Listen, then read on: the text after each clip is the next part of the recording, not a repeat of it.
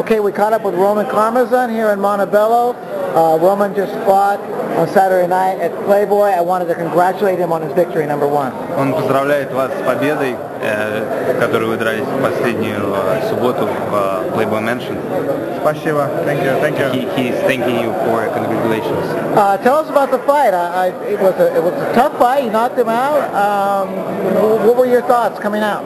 А Расскажите, пожалуйста, о своем э, бое, который вы провели. Это был тяжелый бой. Какие были у вас мысли во время этого боя? На, на самом деле бой э, отменяли много раз, то есть э, он должен быть, должен был другой соперник, потом этот, потом, то есть на самом деле очень тяжелая была подготовка к бою.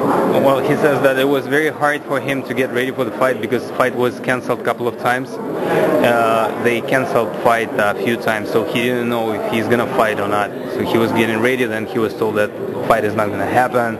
Then he was told that he is gonna fight, and things like that. So it was not easy for him to get ready for the fight. Поэтому я был готов, но не на все сто процентов, чтобы, э, потому что в этом бою я должен был во втором раунде заканчивать бой и все, ничего бы не произошло.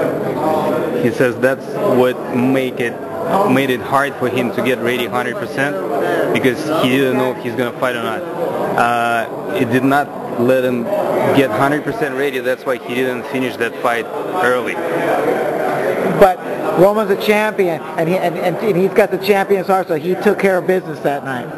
And he says that uh, вы чемпион и что в тот вечер вы достойно провели бой и справились с заданием отлично. А, Ну да, было небольшое недоразумение, то что я пропустил э, все-таки был удар, и я оказался на колене. Uh, he says that uh, he missed one punch and uh, he is not happy about that. He he thinks that ошибка была, да? А, Да, это ошибка, и этого нельзя допускать. He made a mistake and he says that it's unacceptable for him. Sometimes the champions are their own worst critics. He came out with a victory, and that's the most important part. Он говорит, что э, обычно чемпионы критикуют себя очень сильно, но вы победили в тот вечер, это самое важное на. Наверное, да. That's true. Talk about the middleweights for just a minute. Got two middleweight champions, uh, Abraham and Pavlik, and they're talking about fighting guys who really don't are, aren't all the way up there. Sergio Mora, Sergio Mora is good, but he's not a, a champion. And, then, and and Arthur Abraham's maybe talking about fighting Vernon Forrest, a smaller guy. I gotta imagine Roman would like to get in there with either Pavlik or Abraham. Он говорит, что он бы хотел э, видеть вас э, в бою с Павликом или с Абрахамом. Я тоже этого хочу, но не от меня зависит. He says that he wants to fight with them as well, but uh, unfortunately it's not his decision. He Я, has to. я вижу, как вы их выиграть и того, и другого. Я, я, я умнее одного и другого и быстрее.